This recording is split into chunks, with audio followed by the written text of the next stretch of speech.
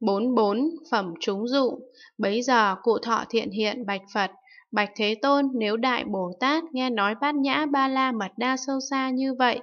phát sanh tin hiểu sâu sắc, lại thường sao chép, đọc tụng, thọ trì, tư duy, tu tập, thì Đại Bồ Tát ấy từ nơi nào sanh đến chốn này? Phật dạy, này thiện hiện, nếu Đại Bồ Tát nghe nói bát nhã ba la mật đa sâu xa như thế, phát sanh tin hiểu sâu sắc, chẳng khiếp, chẳng nhược, chẳng sợ, chẳng hãi, chẳng nghi, chẳng hoặc, mừng vui thích thú, nhất niệm tư duy nghĩa lý của bát nhã ba la mật đa sâu xa,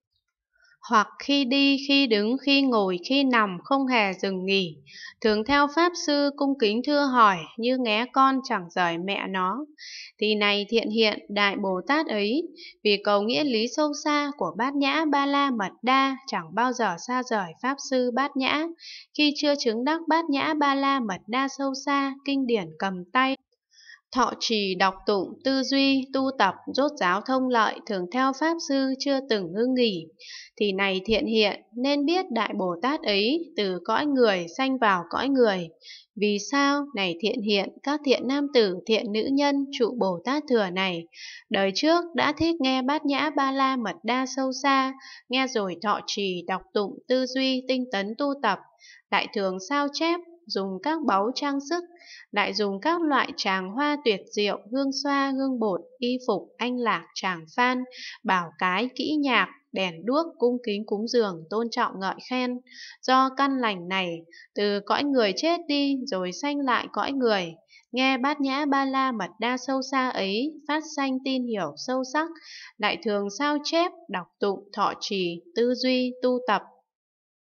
Cụ thọ thiện hiện lại bạch Phật, bạch Thế Tôn có đại Bồ Tát nào thành tựu công đức thủ thắng như thế, cúng dường phụng sự chư Phật ở phương khác, rồi từ phương ấy sanh vào cõi này, nghe nói bát nhã ba la mật đa sâu xa như vậy, phát sanh tin hiểu sâu sắc, đại thường sao chép, đọc tụng, thọ trì, tư duy, tu tập không mệt mỏi chăng?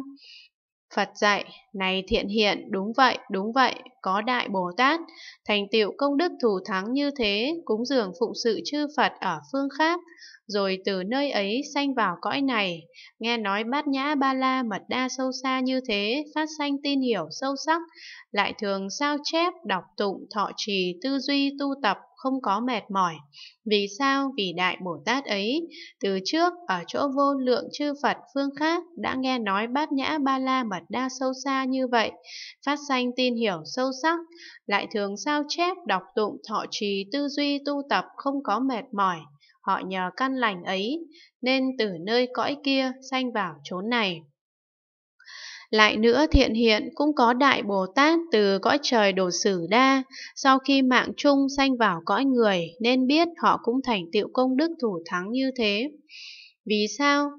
Vì Đại Bồ Tát ấy đời trước ở cõi trời đồ sử đa, chủ xứ của Đại Bồ Tát Di Lặc đã thưa hỏi nghĩa lý sâu xa của bát nhã ba la mật đa.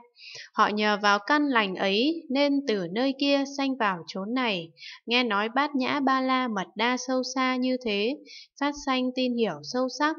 lại thường sao chép, đọc tụng, thọ trì, tư duy, tu tập, không có mệt mỏi.